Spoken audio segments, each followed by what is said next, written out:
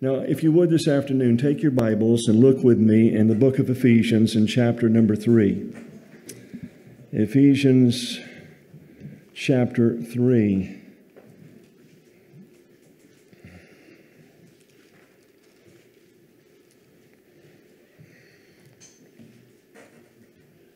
I want to begin the reading of our context in verse 14.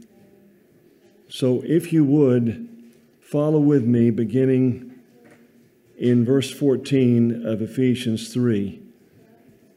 Paul says, For this reason, I'll bow my knees to the Father of our Lord Jesus Christ, from whom the whole family in heaven and earth is named, that he would grant you, according to the riches of his glory, to be strengthened with might through the Spirit, through His Spirit in the inner man, that Christ may dwell in your hearts through faith, that you, being rooted and grounded in love, may be able to comprehend with all the saints what is the width and length and depth and height, to know the love of Christ which passes knowledge that you might be filled with all the fullness of God.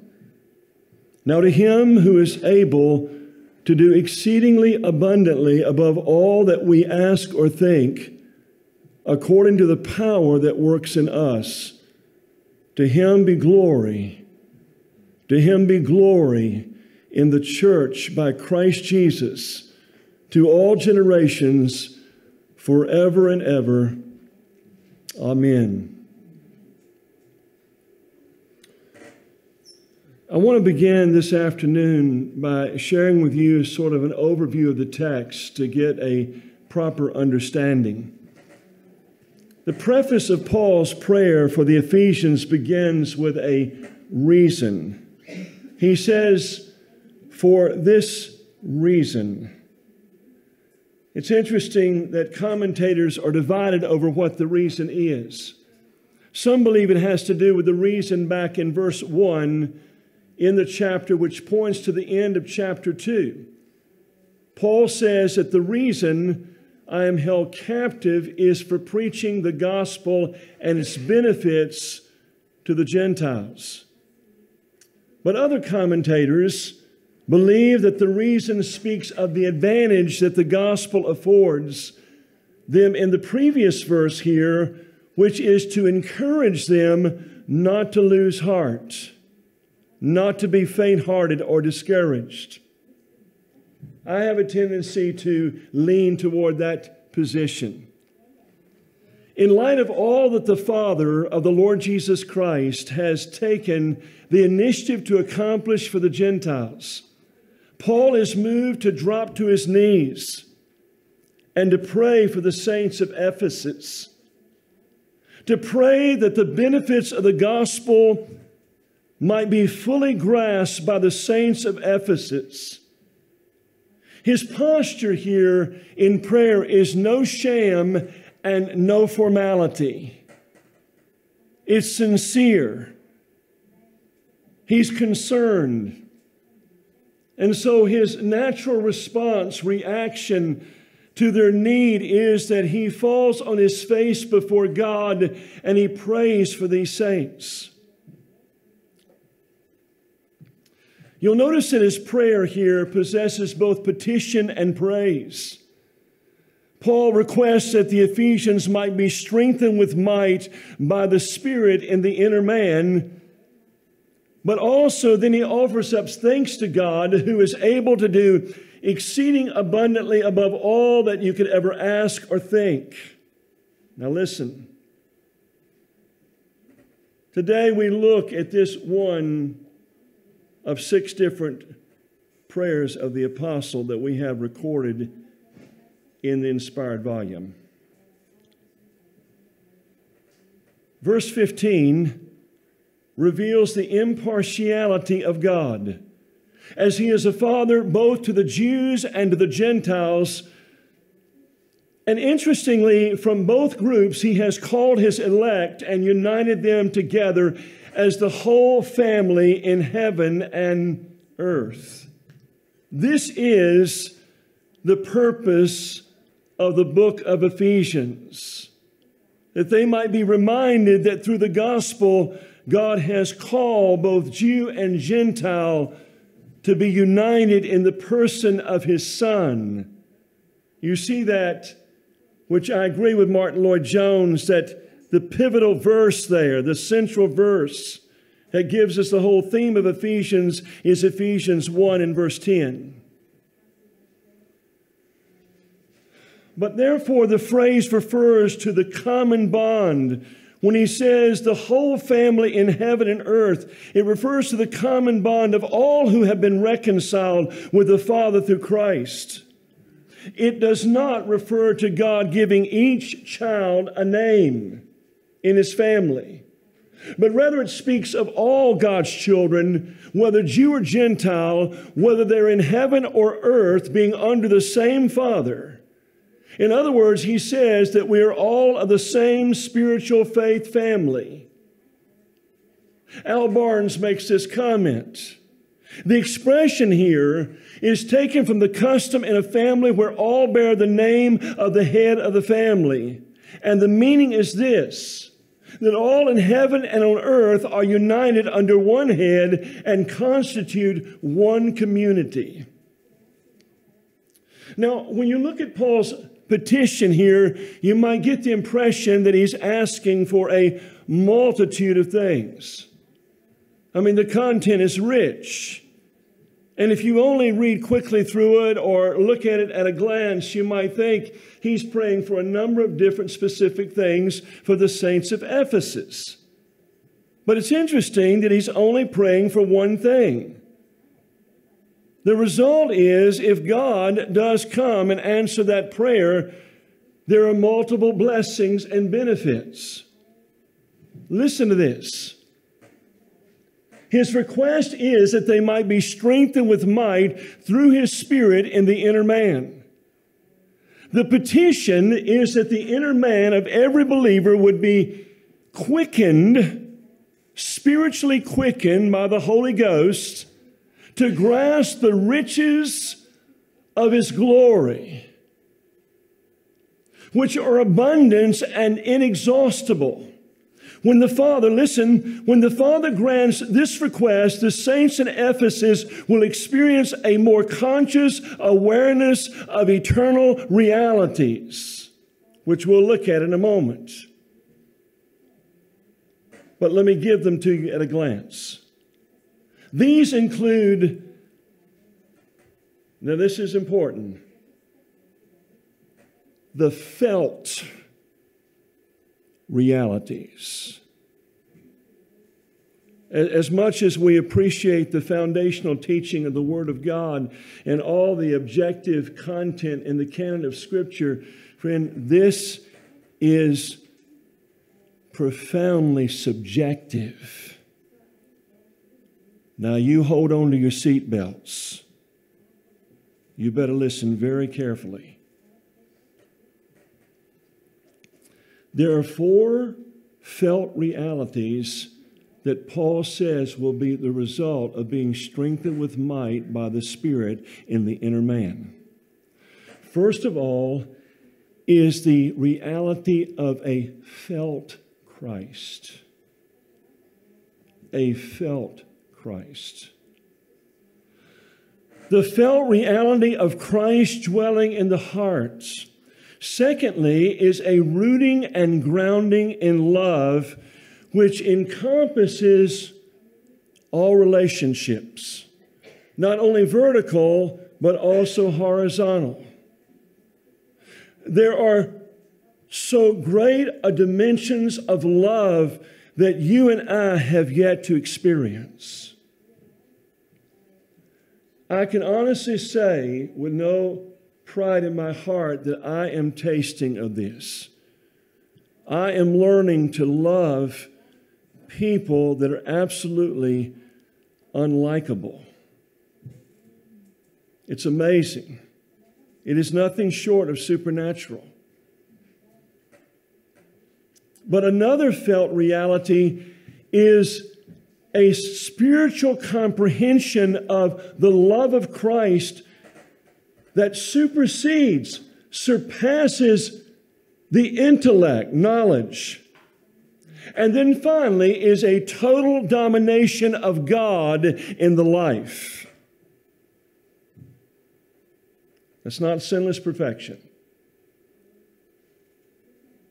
But I'm talking about knowing the affirming presence of God that you sense that everything that you say and think or do and do are under the governing influence of the Lord God Almighty. Now, now brothers and sisters,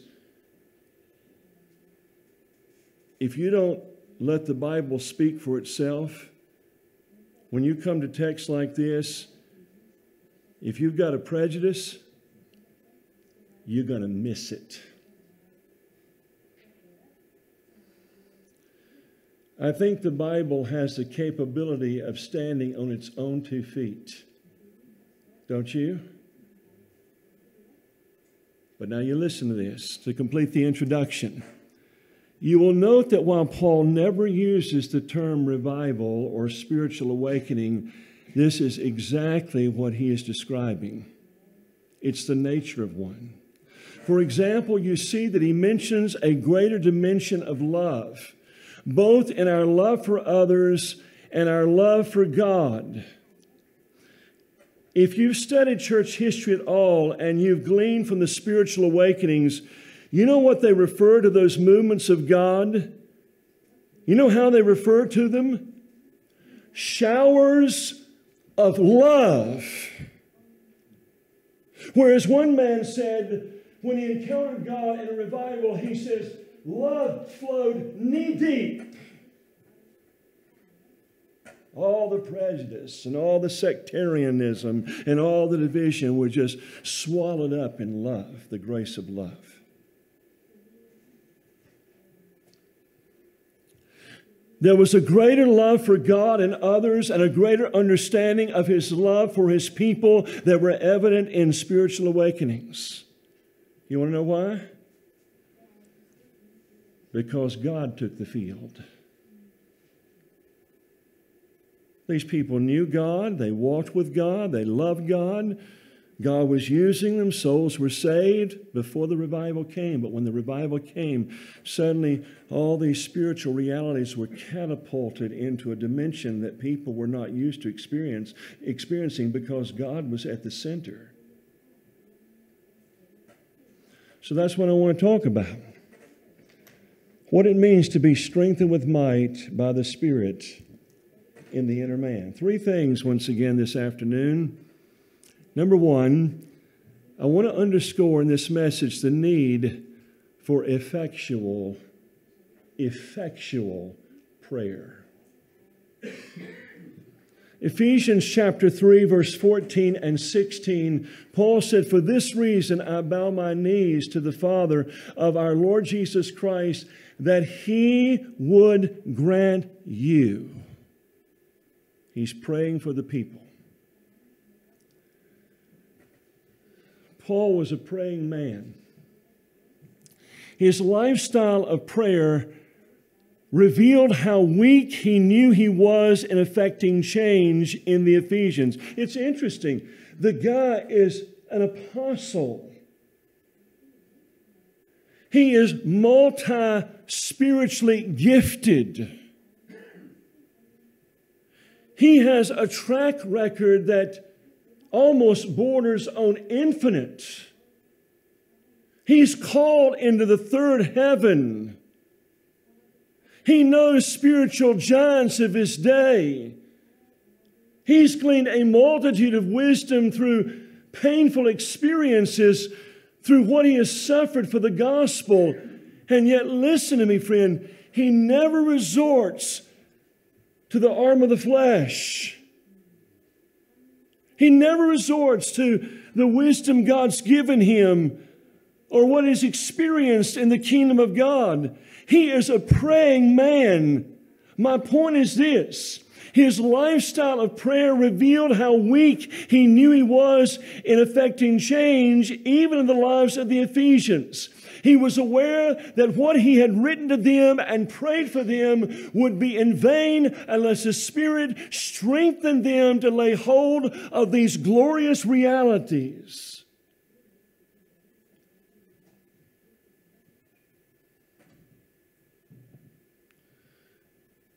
Some this afternoon in the church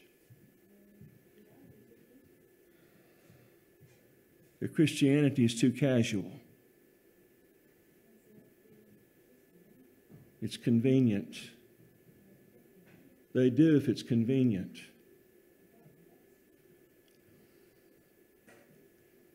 He was earnestly engaged in prayer. Think about this. But do we have the same confidence in prayer or in our God in prayer as Paul did? I ask you this afternoon very simply do you pray? Do we know anything of our utter weakness? Here's my point Is our prayerlessness an acknowledgement that we are too dependent on ourselves?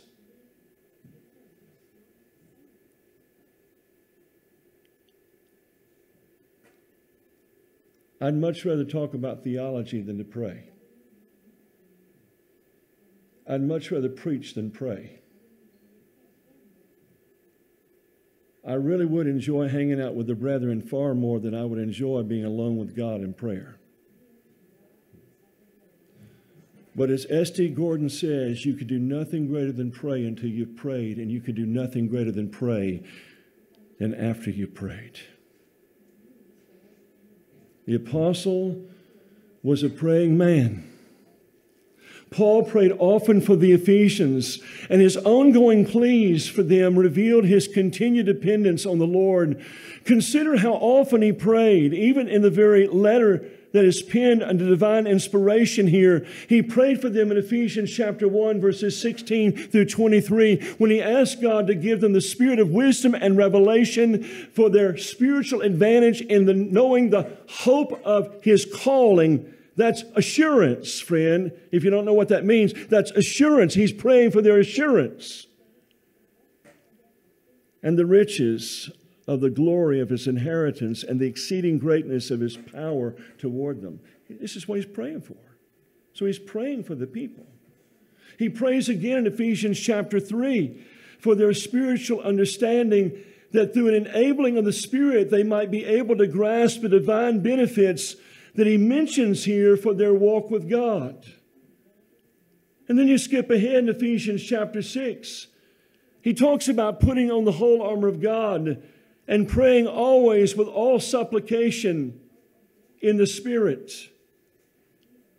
By the way, that's why we put on the whole armor of God is to pray and to supplicate in prayer. That's where the real warfare is. And then he continued to display his weakness in himself in Ephesians 6 and verse 18 again. Here he is putting on the whole armor of God to pray. This is the thing I want to underscore. Paul prayed. He prayed because he recognized his inability to effect change. And he prayed faithfully because he continued to be consciously aware of his helplessness. Listen, people. If there's one thing that is a great disappointment today among the church at large, is the abounding self sufficiency of ministers and lay people that is acknowledged through their prayerlessness.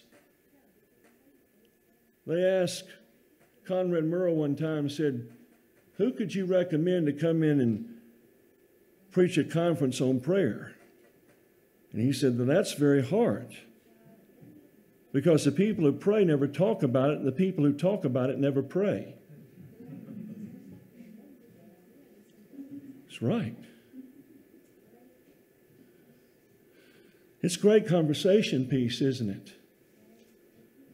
So we spend endless hours talking about it, but how many of us really pray? Like Stephen Olford said, I used to have a little child's song they would sing, How often do I say my prayers, but do I really pray? We're talking about effectual prayer. So, Paul is a praying man. There's a great need for effectual prayer. But secondly, you see in his prayer here the need for the Spirit's enablement.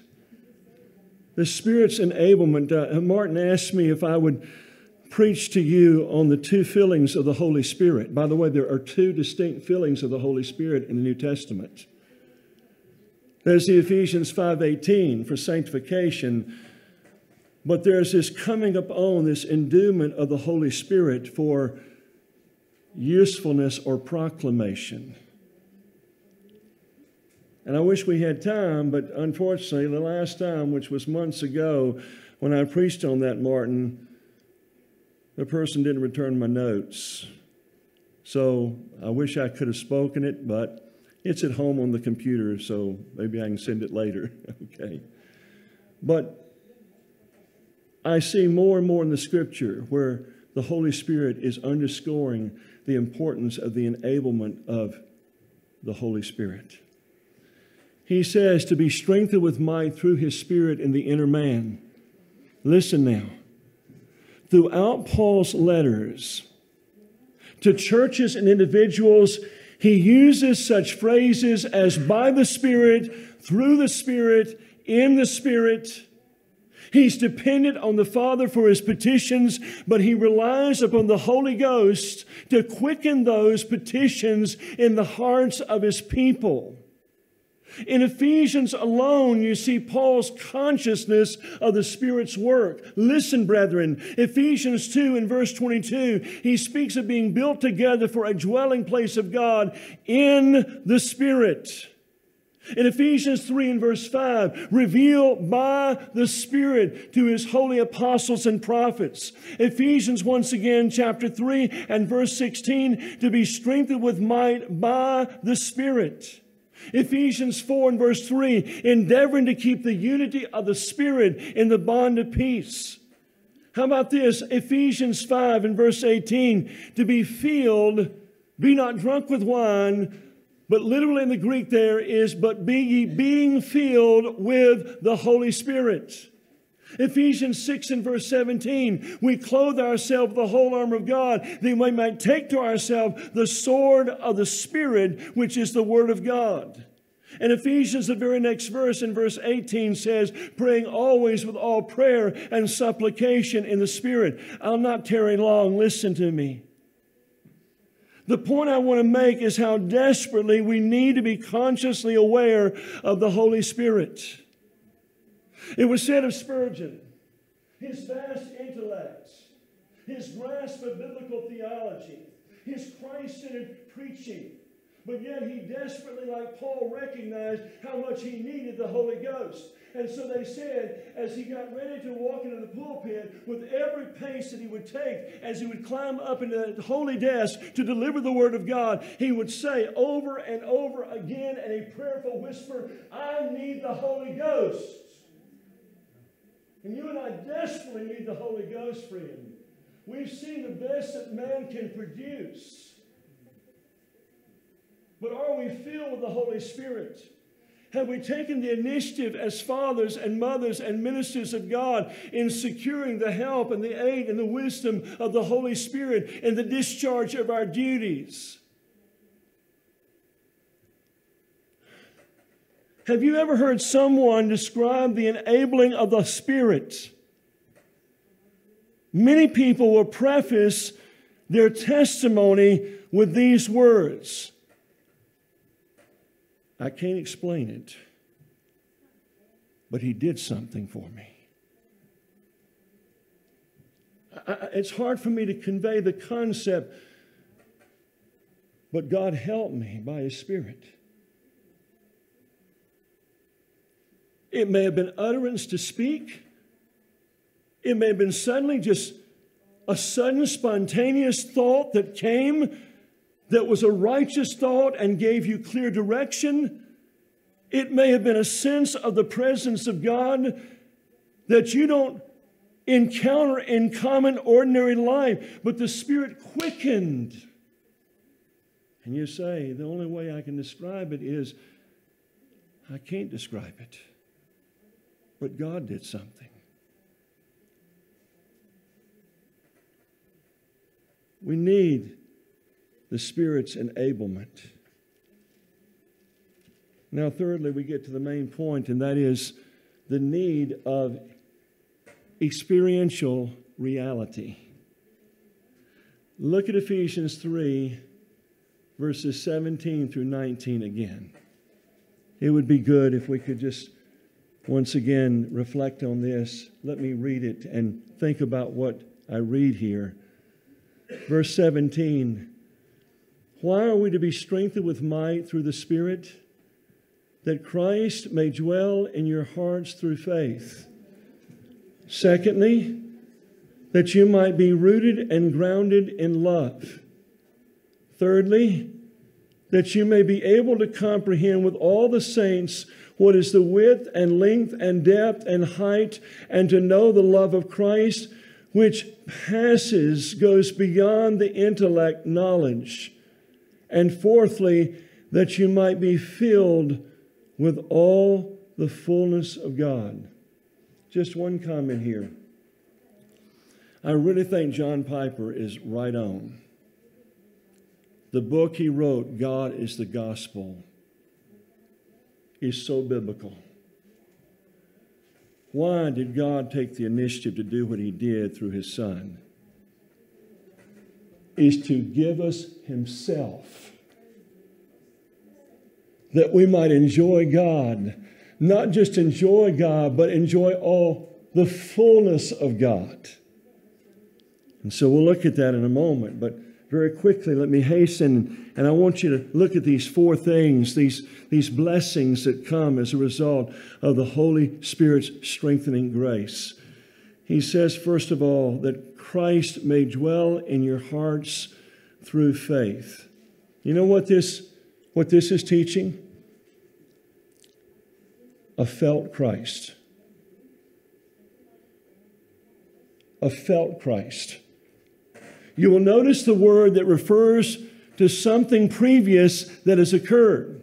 Once again, to be strengthened with might. The matter that the word points to is the work of the Spirit who comes in response to the petition and makes Christ real to his people in a greater degree.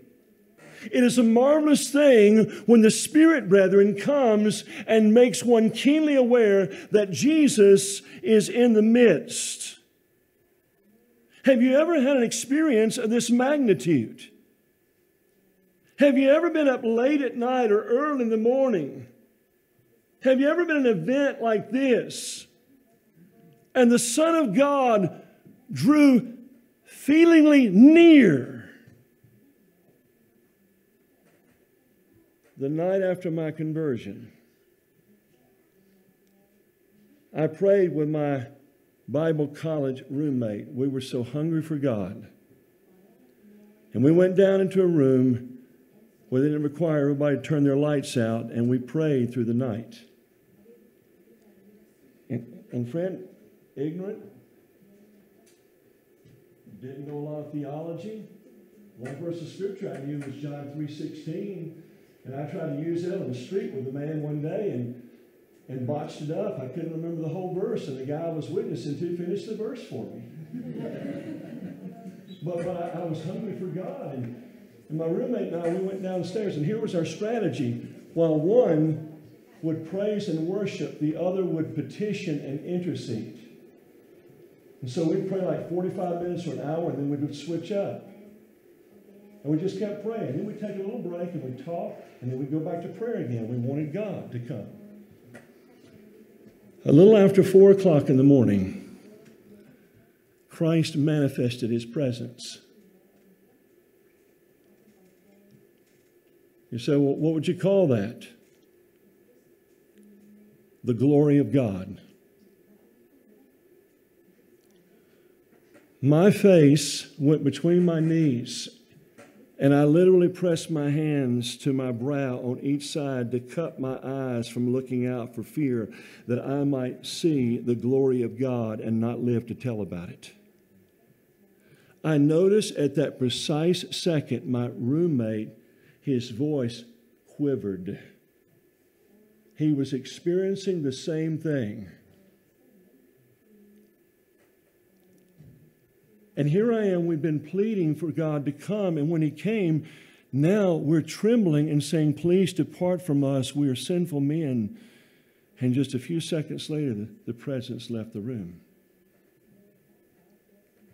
And I looked up at my roommate, Bruce, and I said, Bruce, did you sense that? And he said, I sure did. I said, What did you sense? He said, I sensed that Jesus walked into the room. And I said, That's exactly what I sensed. I talked to Paul Washer about this. He just looked at me very humbly. He said, Brother, he always comes. It's just that we're not desperate for him.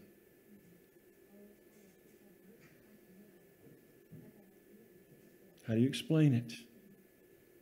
I know the aftermath of that experience was God gave me incredible boldness to witness. A deep sense, a pervasive sense of the fear of God there was joy unspeakable and full of glory. And there was an intense attacks of the evil one in the days ahead.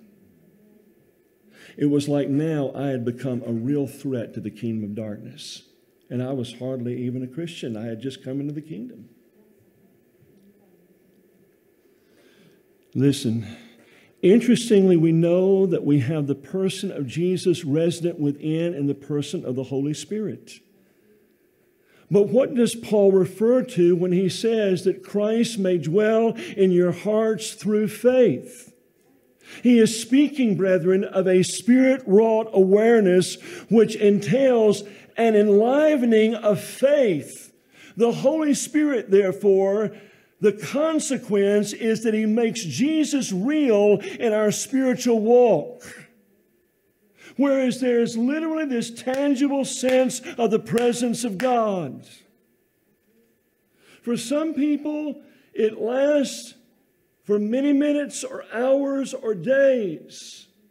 Other people, like me, it's as if He comes, He restores, He ministers, He quickens, and then He moves quickly on. Secondly, another benefit of being strengthened with might is you'll find, he said, that you, being rooted and grounded in love. You'll notice here there's no qualifying statement describing what this love encompasses, what relationship it's pertinent to. Therefore, we have to assume that this is a love that really entails all relationships vertically with God and horizontally with the saints as well as people that are unsaved. The love mentioned here is not qualified.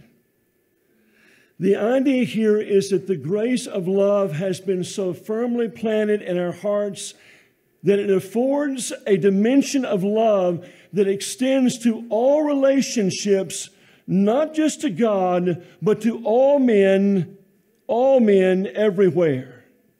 For example, here's an implication with God, even though I do not experience His presence all the time, I am raised to a whole different level of consciousness and a conscious love for God. I love Him.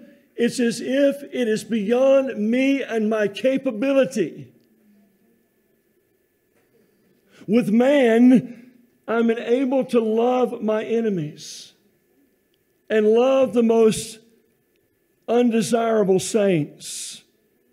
Suddenly, I start seeing things beyond their lives as to why they act the way they do. And it engenders compassion in my heart for them. I care for them and love them. And even though I may not know them well, I don't pray in a condescending way, but I pray because I feel for them. Another thing, The result of being strengthened with might by the Spirit is in verse 18. Paul said that you may be able to comprehend with all the saints, watch it now, what is the width and length and depth and height, speaking of the love of Christ, and to know the love of Christ which passes knowledge. By the way, the word in verse 19, to know, means to perceptively feel. Once again, this is subjective. He says to perceptively feel the love of Christ, which passes knowledge. The word there means to throw beyond the intellect. In other words, I see, I know how much Jesus loves me, but now there's this all encompassing sense of the manifestation or manifested reality of Christ's love. The word comprehend means to spiritually perceive or grasp a dimension of Christ's love that surpasses knowledge. Listen to me, brethren. Matthew Henry, the devotional commentator, said, Where Christ dwells, he swells. He's in us, but suddenly the Spirit quickens us in the inner man, and we're able to grasp a dimension of Christ that is subjective in nature.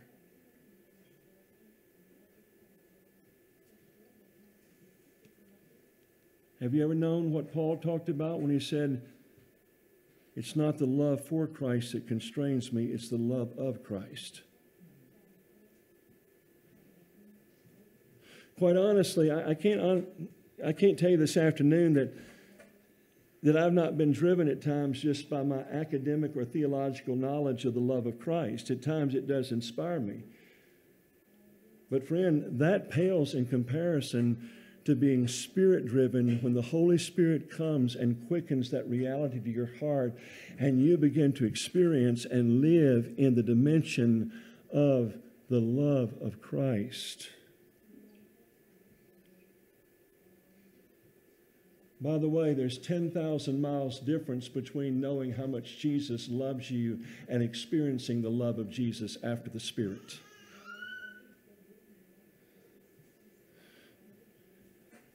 At times in my life, I come in I sing these songs about the love of Christ. It inspires me academically. But when God comes and the love of Christ becomes a reality, it throws it beyond the intellect. Now you're sitting there and you're looking at me like I'm from another planet, aren't you? But I'm talking about spiritual reality, friend. And I'm talking about something, if we pray in earnest for, who knows, perhaps God may not only give it to us, but give it to our church. And once again, this is what's lacking today in our churches of why we're not making a greater impact on our community is because we lack the supernatural work of the Holy Spirit to be strengthened with might in the inner man. And then number four, the fourth benefit of being strengthened is that you may be filled with all the fullness of God. The word filled here in the Greek means to be filled up or to be equipped or supplied with. The reality is, friend, is that the Ephesians and each of us may know the riches of the person of God Himself to think that God is the one that took the initiative to send His Son into the world to not only redeem us, but to give us the full measure of Himself is glorious. Now, now think about this with me for a moment. To think that the very God in whom we move and breathe and have our being has given us such a promise is indescribable. And what is the promise? Verse 19, that we might be strengthened with might by the Holy Spirit in order that we might be filled with all the fullness of God. Notice something. We don't just encounter God, we're filled with God. And beyond that, he says, we're filled with all the fullness of God. He holds nothing back. Paul says that we might be filled with God. It is a glorious thought. To be enabled to encounter God is an awesome token of his love for us. But then Paul prays on top of that that that, that, that filling would advance to the measure of fullness. I love the comments of Barnes here. Listen to what he says. This expression is a favorite word with Paul. He speaks of the fullness of the Gentiles, the fullness of time, the fullness of Christ, the fullness of the Godhead in Christ in Colossians 1, verse 19, and Colossians 2 and verse 9. But it means here, now this is so important, we're almost through. Listen to this. It means here that you have the richest measures of divine consolation from above, God Himself, and the divine presence, that you may partake of the entire enjoyment of God in the most ample measure in which He bestows His favors upon His people. Why would I want anything else if I have God? And guess what? As we talked about last night, Christ is not only mighty to save, but he's mighty in his willingness to save. God is not only able to give you his fullness, he wants to do it. It's his desire to do it. But are you desperate for it? So, in conclusion, it is a fitting conclusion that we mention once again that this is exactly what you see in revival and spiritual awakening when God pours out His Spirit. In response to the prayers of God's people, His Spirit comes and awakens these realities to our heart in such an extent that they become, listen, so life giving life giving that our lives are mightily transformed. We grow in our spiritual understanding so as to see clearly, to see clearly and know powerfully the this is what we're talking about now, the riches of his glory. That's what the text said. These four things are the riches of his glory we're able to see it and wrap our mind around it and internalize it. We experience it because it's given by the Spirit through the strengthening might of His grace. Such things as the indwelling Christ, a love for others, Christ's love for us, and the full measure of God's favor and presence is more and more apprehended. And I'll leave you with this parting word.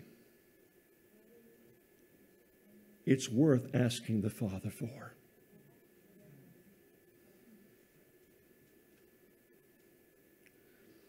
We love theology. And I pray that more and more God would give you an insatiable appetite for the truth about Himself. But, friend, please do not stop there there is a subjective reality to encounter. Learn to know and enjoy and practice the presence of God. This is what's lacking today in Reformed circles.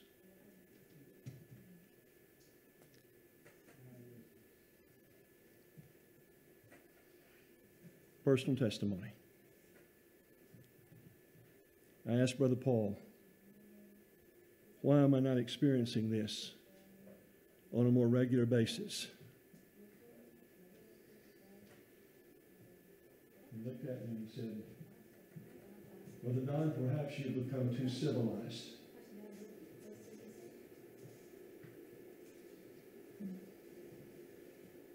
You can answer people with a theological answer. But you don't know the life giving grace of the truth that you're dispensing. He didn't say it as if that was my problem. He just suggested that. And once again, he said to me, He always comes.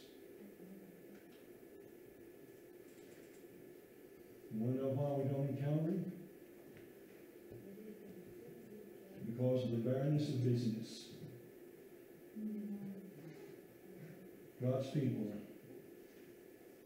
are too busy for God.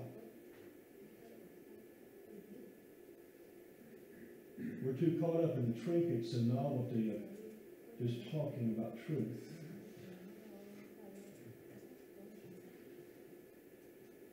We need to know truth in an experiential way. I don't know about you. My prayer is more love to thee, O Christ, more love to thee. Not to consume it upon my lust for him, but I, I really believe the more I know of the love of Christ, the more my Father is glorified. It's all to the praise of the glory of his grace. Let's pray together.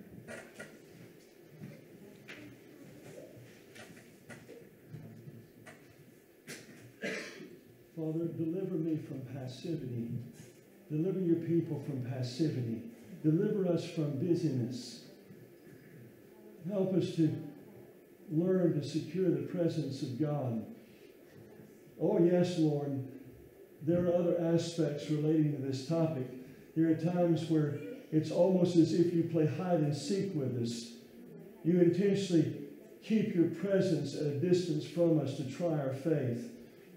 And we must cover that as well, but there's no time to. But Lord, oftentimes the reason we don't know this tangible sense of your presence is just because we're just too preoccupied with the affairs of the world. And so I would pray for your church. I pray for the churches that are represented here that you would strengthen them with might by your Spirit in the inner man. I pray, God, in faith. I pray that you would quicken your word to people's hearts.